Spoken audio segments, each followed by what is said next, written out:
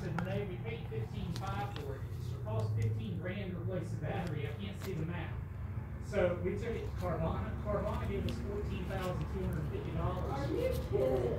Totally, it's totally hilarious.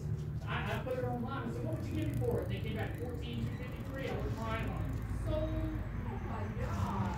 so we got like one point nine percent finance, we financed ten thousand dollars the price of this risk rebate cash. Trade, cash out of her car, put this, do some extra money, so I financed ten grand, I paid it off in a year. But the point was, we just wanted something, this thing stayed parked at our house, the only reason I brought it is because Steve was talking about maybe getting a truck. And I said, Steve, I didn't tell him, that's why I parked it up here today, I said, we're going to see how big it was compared to. Two weeks. Yeah, we were trying to figure out whose truck it was, we both